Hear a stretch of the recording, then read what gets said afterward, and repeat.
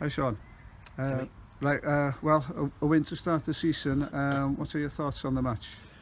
It's what we came for. Uh, we, we got together with the boys um, uh, back end of last week and we said, you know, what do we want from Hemmer and Cork? And we said three points collectively. Um, I don't think many teams are going to come here and, and get a result. I think Gary's team play with a lot of intensity. They work hard, they stick together, and definitely at times today they made it difficult for us. But looking at Looking at the goals, I felt second half, I felt the first 10 minutes, I, I thought we came out the blocks, we had a couple of chances and then I look at Breezy maybe going through it at, at being 2-0 up after scoring a great goal and I think if he scores that then maybe we might have relaxed a little bit more obviously they nicked the goal um, you know obviously with, with a slight hill here as well they were always going to give it a go like but come the final whistle you know it's all about the three points and we're really happy with the 2-1 win Yeah, good. Um, there were some stand-up performances uh, by the, uh, all through the team, really. We played with a high tempo, didn't we?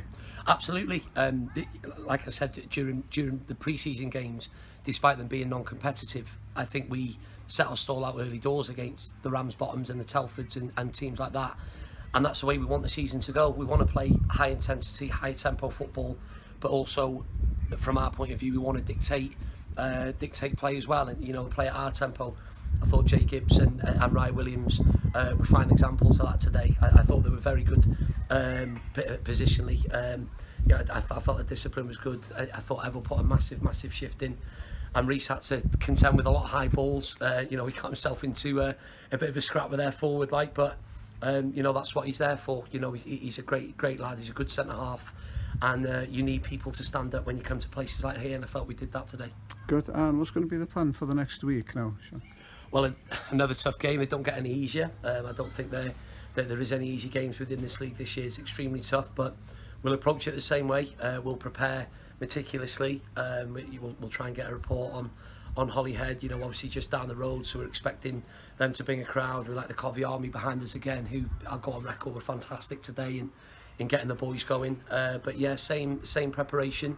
Uh, we'll we'll analyse who's maybe carrying knocks and who's maybe a little bit uh, fatigued because, like I said, there were some massive shifts out there today.